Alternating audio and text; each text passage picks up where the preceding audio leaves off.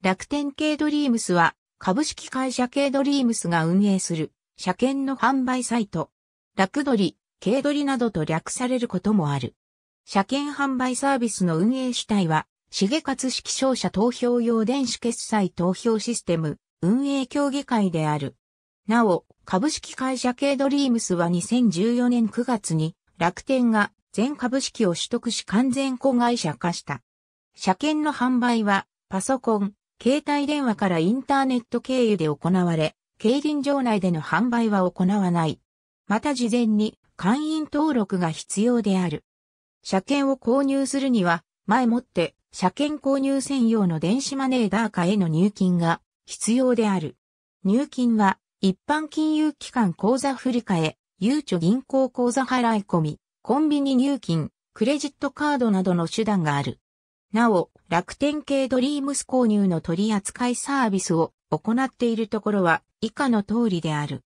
取扱いサービスのうち、日本トーター運営の願望は独自のサービスを進めており、一部の競輪場や競輪場外車検売り場にインターネット用の投票センターを設置して現地での現金投票を可能にしている。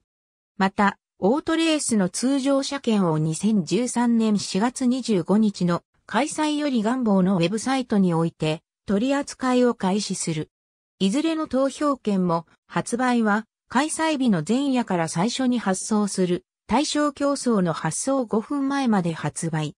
なお、2012年4月以降は手芸活式統一発売のドカント4通を発売するため、グレードレース開催時のビッグドリームの発売はなし。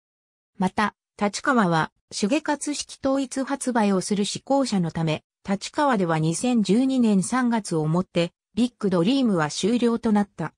2019年4月より、計5が共同開催方式と変更となり、1日市場のみの発売となった。その関係で、ビッグ、ドリームと K-3 通は終了となった。西武園と大宮は共に埼玉県主催のため、キャリーオーバー共有方式での発売となる。1000万円以上を、期日2011年12月5日の開催より、通常の7、掛け式車券も楽天系ドリームスを通して購入できるようになり、2015年8月から広島競輪場が最後発となる形で全場の通常車検を発売するようになった。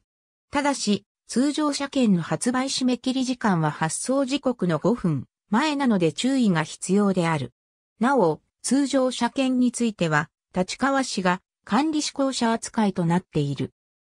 一宮競輪場については2008年7月2日より発売が開始されたが、2014年3月16日に本場開催廃止となったため、重勝式については、最終開催が終了した時点で、キャリーオーバーが発生していた場合には全額を主催者の収益とするが、最終開催日において、全レース的中者がいない掛け式が出た場合は一つのレースを外すための購入者全員を繰り上げ的中とする特別措置が実施されることになった。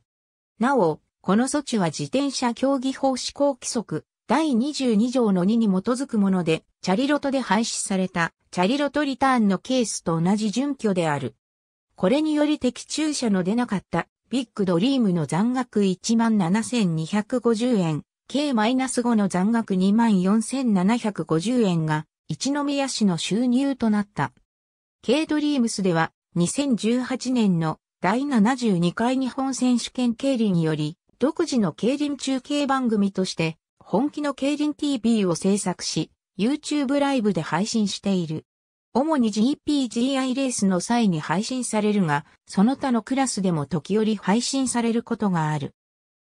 2020年8月からは、本気の競輪 TV を発展させた、虹色競輪 TV も、主にファイ開催をメインに配信を行う。ただし、2021年度は原則や彦競輪場で、開催される開催のみの配信になっている。ありがとうございます。